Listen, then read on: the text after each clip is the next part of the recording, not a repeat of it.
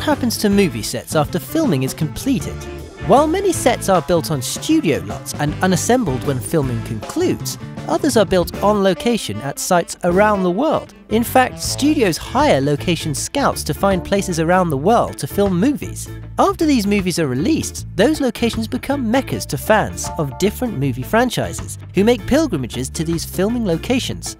And even if you aren't huge fans of these films, it's still pretty interesting to check out these movie sets, if you're travelling to areas near them. 1. Hogwarts At the centre of the Harry Potter universe is a school of magic, wonder, and more than a little danger. While you can't actually learn spells or charms at the filming location of Hogwarts, fans can visit the Christ Church College at Oxford University. Built over five centuries ago, Christ Church College receives 350,000 visitors every year solely because of its role in the Harry Potter movies. From the main entryway staircase to the Bodleian Library, students from every Hogwarts house will enjoy visiting this British filming location. 2.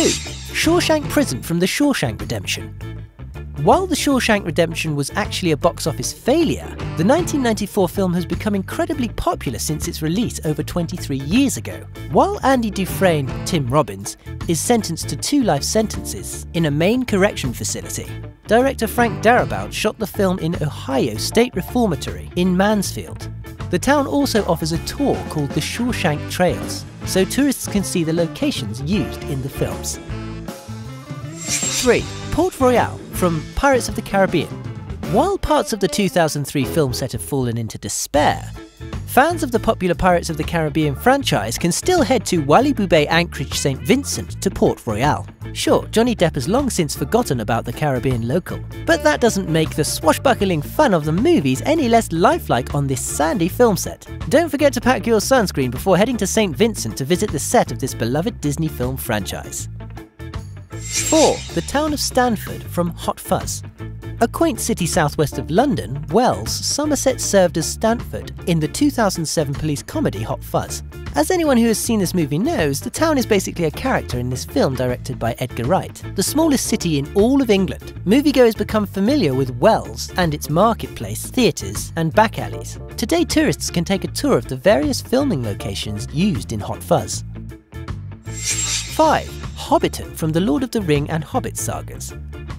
Fans of Peter Jackson's films need only to save up for some vacation days so that they can enjoy the journey all the way to Matamata, New Zealand. Once there, individuals find themselves lost in the imaginary world Jackson created to use in his retelling of the beloved J.R.R. Tolkien books. A variety of tour options are available to explore the Hobbiton, from the Shire to Glowworm's Caves. 6. The neighbourhood from Edward Scissorhands.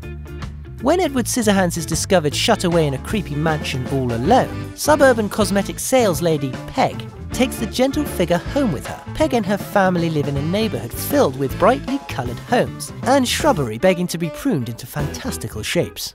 This neighbourhood is Tinsmith Circle in Lutz, Florida. People actually live in this quiet hamlet, so visitors should be careful not to trespass on private property when touring the locale. 7. Overlook Hotel from The Shining. The bone chilling horror directed by Stanley Kubrick, based on the novel by Stephen King, used the exteriors of the Timberline Lodge located at Mount Hood in Oregon. While the interior scenes from The Shining were filmed at Elstree Studios in London, England, the Timberline Lodge was used for the exterior shots of the possessed property. At 5,960 feet above sea level, horror fans and skiers alike can enjoy the mountain's beauty from The Shining's exterior set today. 8. The Café from Amélie La Café des Deux Moulins, which translates to the Cafe of Two Windmills, located in the Montmartre neighbourhood of Paris, has been a part of the city's rich culture since the beginning of the 20th century. It didn't gain international popularity until the 2001 movie Amélie was released. Now the cafe attracts visitors from all around the world. 9. Firehouse from Ghostbusters. Located in the Tribeca neighborhood of Manhattan, the old New York Fire Department station is put to good use by Ghostbusters in the original, sequel, and that other movie. Yeah.